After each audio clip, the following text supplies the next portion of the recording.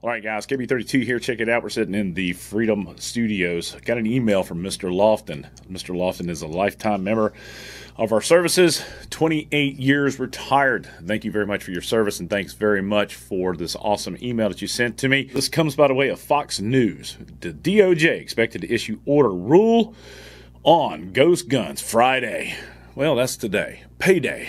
Let's talk about this. So, proposed rule will be entered into the Federal Register on Friday and kick off a 30, 60 day review period. You know how it works.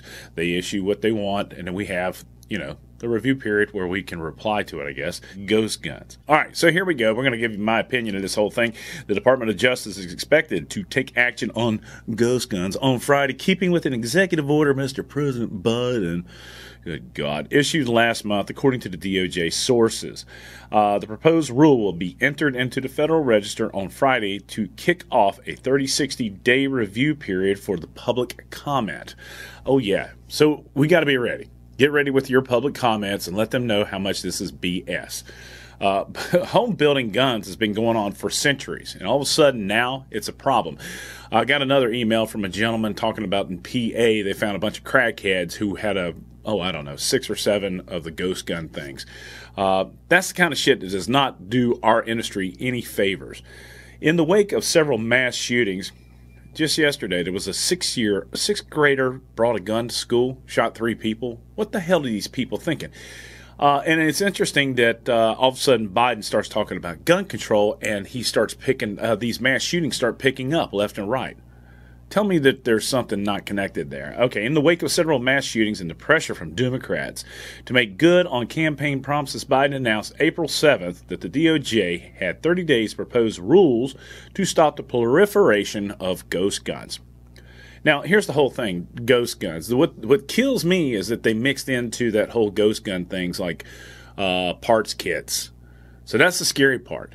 I, I don't know how they can even uh, comprehend killing that industry.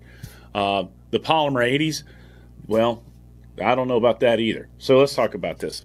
Ghost guns are not subject to serial numbers on the background checks because they are assembled from kits that include an unfinished piece, typically a receiver.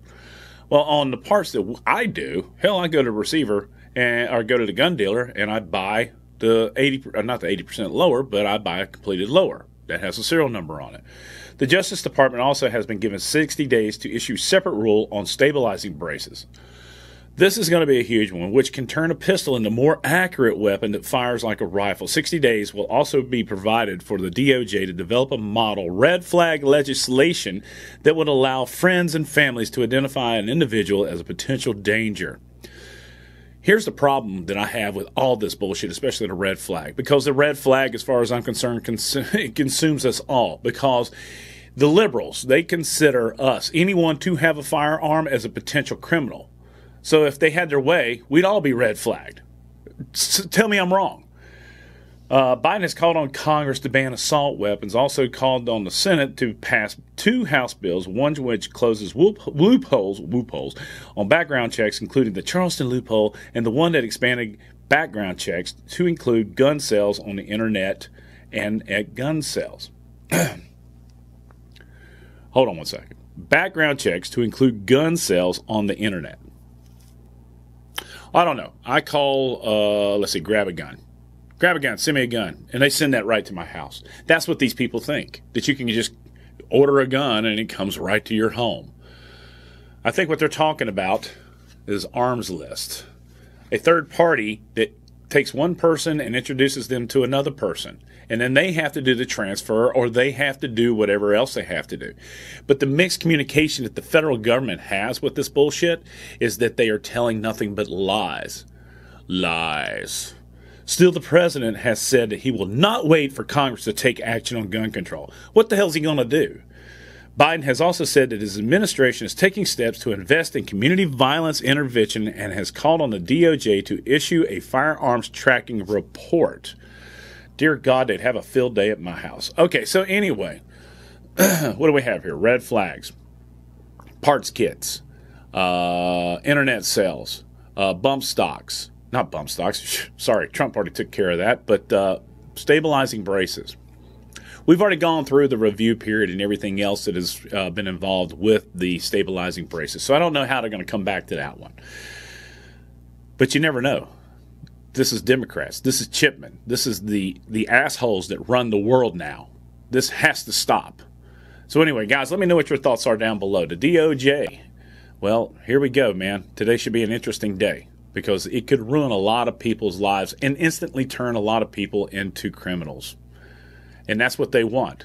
Everyone who has a firearm is a potential criminal as far as the left is concerned. Boy32, if you like this video, oops, give it a thumbs up, subscribe if you haven't done so. Support red, white, and blue. People have said this statement is incorrect, but uh, and they say something about bootlicker. But I support the guys and men and women in uniform that support our Constitution because they're going to be there side by side with us fighting against whatever's on the other side. It's Boy 32. I'm out here. Y'all have a great day. Boom.